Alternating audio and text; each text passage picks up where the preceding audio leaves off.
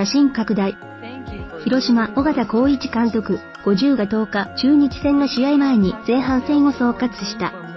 4連覇を目指してスタートした今季は誤算が続き、20年ぶりの11連敗、1分けを挟むで前半戦を終了。借金後の4位から後半戦の巻き返しに挑む。尾形監督の一問一答は次の通り。前半戦を振り返って、開幕はいいスタートを切れなかったが、課題を修正して5月はいい戦いができた。6月の交流戦に入ってからまた勝てない試合が続いて、7月に入っても連敗が続いている。現状は課題がいくつも出てきている。まずはそこを修正して夏場の戦いに向けてやっていかなくてはいけない。課題は、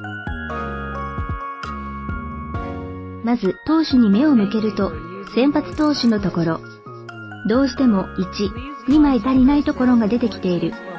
中継ぎ、抑えの投手も決めきれていない。そこをまず直していきたい。打線の方では今年は得点力不足。しっかり固定できていない。得点しても、中押し、ダメ押しが、1試合を通じていい攻撃がなかなかできていない。この先、打線の組み替え、固定していくことを考えて修正していきたい。先発は、大瀬良、床田は数字以上の投球をしてくれている。もっと勝ち星がついていい内容。ジョンソンもしっかり柱としてやってくれているが、その後の投手のところが課題。中継ぎ陣は新たな力が出てきた。2年目の遠藤をはじめ、いい投球をして一軍の戦力になってくれている。ただ期待していた中崎、一岡という実績のある投手が不調、故障というところで、抜けた穴をなかなか埋めきれていない。後半戦の投手陣のキーマンは、下で調整している野村、岡田、薮田、中堅で実績のある選手がしっかり調整して後半戦に戻ってきてくれることを期待している。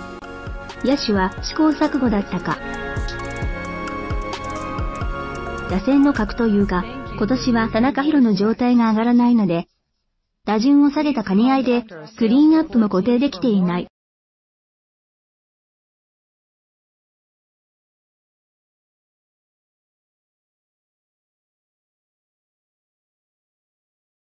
先ほど言ったように、打線は固定するのが理想だが、その日の調子にもよる。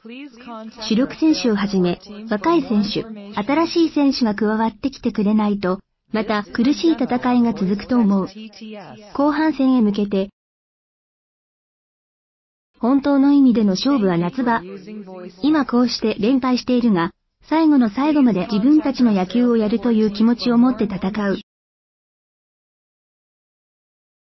一つ流れが変われば、またいい方向に行ける。しっかりと目標を定めて戦っていきたい。ファンへメッセージ。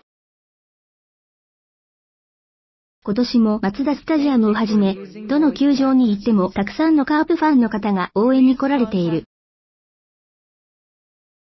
期待に応えられるように最後の最後まで諦めず戦っていきます。